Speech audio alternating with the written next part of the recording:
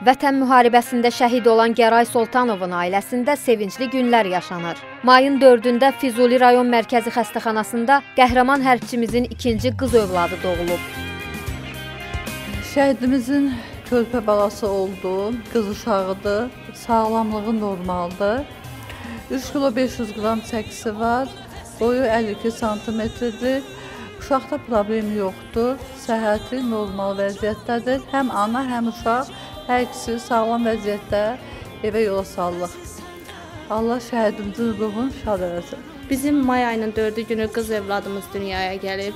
Adı da Nuraydır. O bizim şəhidimizin əmanətidir, yadigarıdır, bizə qoyub gedib.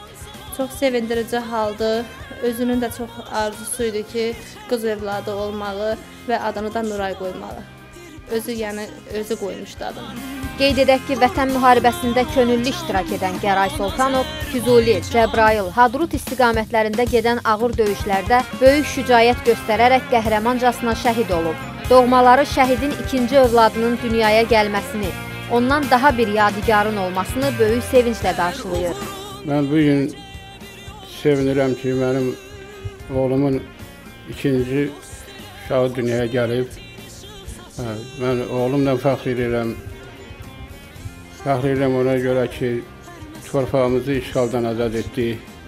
Mən bugünkü günü həm bir tərəfdən sevincliyəm, bir tərəfdən kədərliyəm. Ona görə sevincliyəm ki, ikinci qız evladı dünyaya gəlib şəhidimizin. Sevincliyik ki, yəni 30 il erməni tapdağında olan torpaqlarımız azad olub. Biz onunla fəxr edirik, qürur duyuruq. Bu uşaqlar da atasının adına layiq uşaqlar olsunlar. Körpə sevinci yaşayan şəhid ailəsi Yaşad Fondunun əməkdaşları tərəfindən də ziyarət olundu. Şəhidin yeni dünyaya gəlmiş övladına 5000 manat məbləğində qəbz təqdim edildi. Nuray dünyaya şəhid övladı kimi göz açdı.